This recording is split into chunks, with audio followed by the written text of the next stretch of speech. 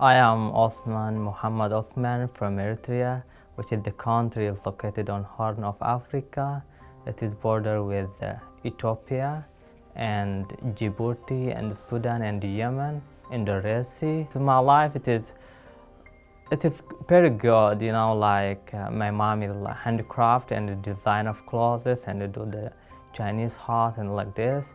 So we are in a good situation of life. The standard of life is good.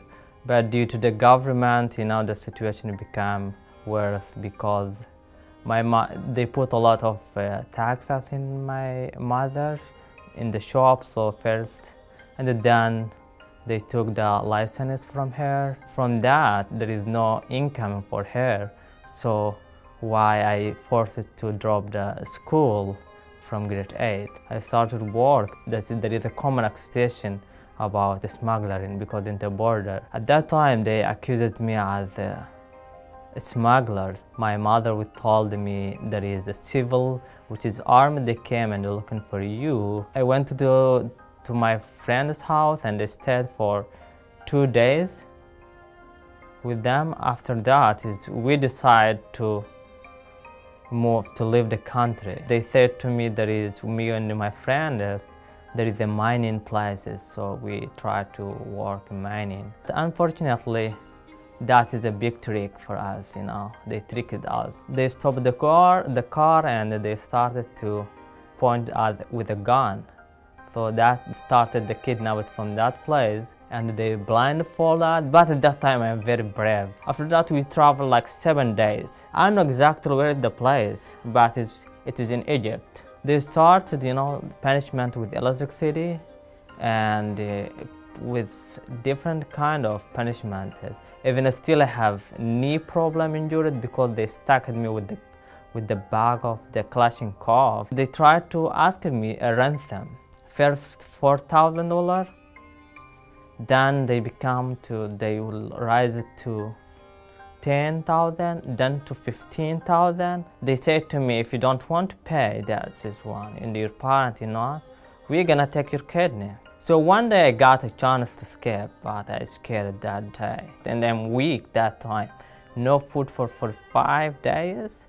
Only one time I didn't took shower for, for five days and there's no anything, I'm weak. Finally, I will went to the old man in the grocery and I told him like this is because I speak Arabic. It is, for me, that is not problem. So I speak with them. Then after that, he, he took me to his house. He gave me one who guided me and he gave me 50 pound of Egyptians. So I went to Cairo. He said to me, we have to register you in organization they called AMERA. So I went to AMERA. They registered me and they assisted me only like, they gave me like apartment. I applied for the UN for the asylum card. At least I have an identity. Before I don't have any identity. No card that is show who am I. So if they catch me, they're gonna deport me to my country. So that is gonna be gonna end my life because one, I left the country with illegally, and also they have accusation about smuggler person. So and also that time I am underage, and now they're gonna take me to the military service. And in my country, it's the military service unlimited. This is for your whole life. The IOM they called me and the UN they said you already resettled to the USA. I'm very excited, you know, and yeah, to come to United States of America. This is gonna be a new opportunity and a new dream to me, you know. Fargo that time it's cold, that is the winter time, I went. But the winter is not surprise me.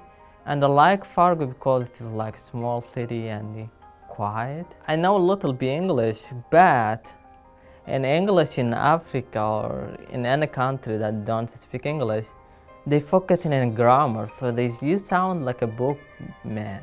Yeah, different, like weird. So the kid they playing, the student playing with the basketball, I kicked it with my feet. So they said to me, "What you doing?" I don't know what you're doing. Hey, wait, I said. My name is not Wacha, my name is Osman. I want to be first of all happy.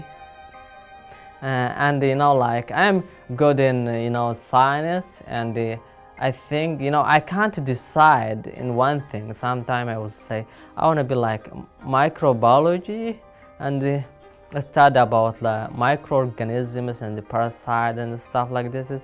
Sometime also I will say how about the petroleum? I will say sometime nursing and you know I can't you know decide for one thing. I don't have any choice you know like even I am homesick you know. I want to be with my brother and I want to be with my family. No one like to be refugee refugee for me like you walking in a sharp knife and you bleeding you know it's no dignity with to be refugee you know. Like it mean refugee to be it mean to beg something and to, to you are waiting. I don't want to be wait you know for someone. I have to be uh, support myself. Only some people maybe they due to their accent or your color or stuff like they trying to bully you and make fun on you but i'm not care I can't change the people how you can treat you or what they say to you. All you can do, you can change how you react with that. Yeah.